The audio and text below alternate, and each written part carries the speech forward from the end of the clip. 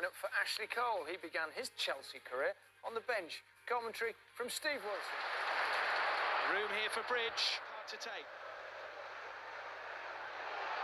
Block was by Hughes on the return from Drogba. Barely a flicker on the bench, but Didier dropped again.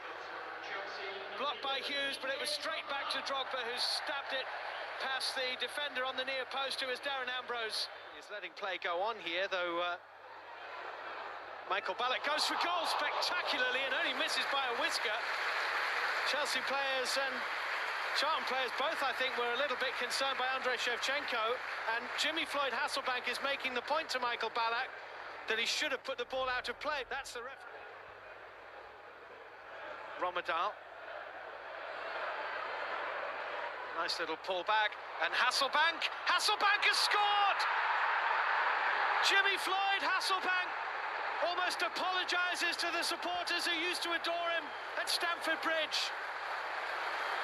Well, what a very good goal. Rommedahl did well, Hasselbaink did better. And Charlton are level at Stamford Bridge with a quite beautifully taken Jimmy Floyd Hasselbaink goal. Oh, Shevchenko got a touch.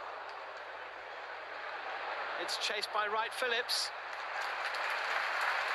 Diawara is down inside that Charlton penalty area. Alan Wiley is uh, let play go on. Wright Phillips has won a corner. Meanwhile, after 228 games and a whole career at Arsenal Football Club, Ashley Cole is about to be introduced for his first Chelsea appearance. And that's the ovation for the England and Chelsea left back. Diawara is not able to continue. Charlton with 10 at the moment as the header goes in! And Carvalho has scored! Lampard's corner. Carvalho action off the Chelsea header. debut, that must be a relief for you. Yes, uh, um, was not in, in, in the best moment, you know. He, he comes into the game when uh, Charlton scored the equalize. It's a moment of pressure for the team. Uh, and after that, when the team goes 4 to 1 up, uh, again, they put uh, everybody up. Uh, is a good manager. He put there bent and uh, uh, two bents and uh, Jimmy and uh, powerful people in in the air and kicking balls up and putting pressure on us. And uh, uh, for Ashley also, you know, big, big, big thing around him.